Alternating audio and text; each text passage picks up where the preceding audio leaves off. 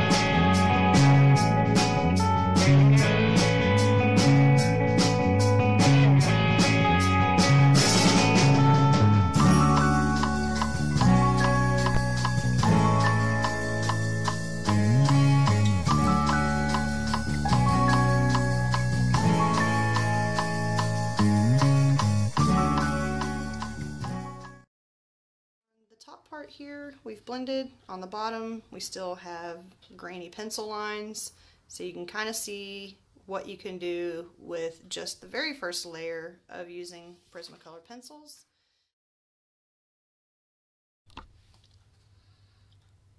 Okay, so here's my finished drawing. I took a little extra time to work on some of the detail. I added in a little bit of more dark blues, some flesh tones, extra eyelashes, and also some white in the eye. So you can kind of see there what it looks like now. Um, and one more thing I did, I did actually add some grays and blues just really quickly to roughly lay in some color around the eye uh, to kind of help it help it have more of a realistic feel to it.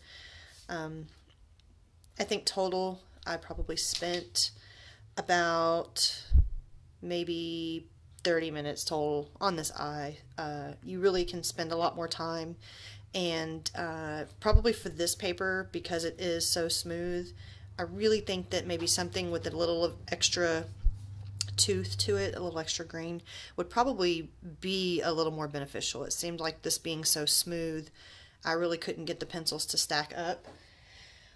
Um, for extra things to use with the Prismacolor pencils, we talked about before, this is the Prismacolor sharpener.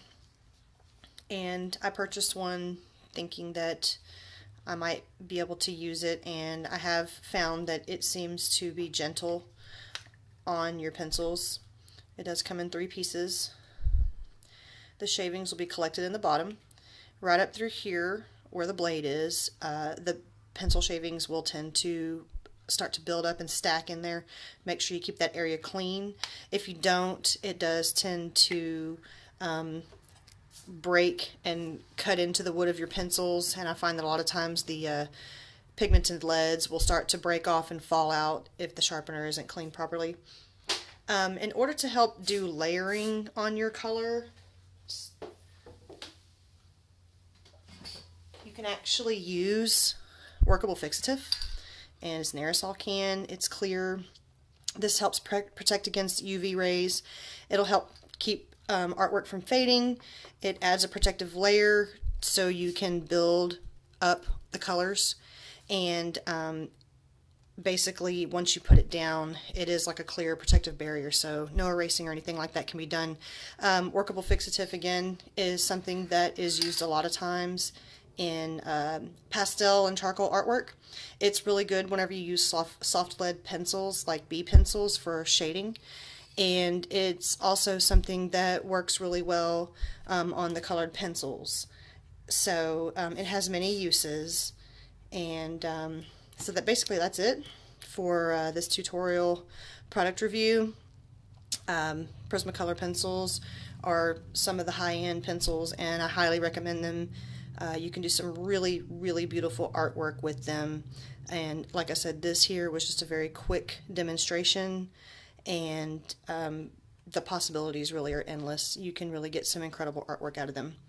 All right, this is Bre Tobias signing off with Art Supply Guide. Thank you guys.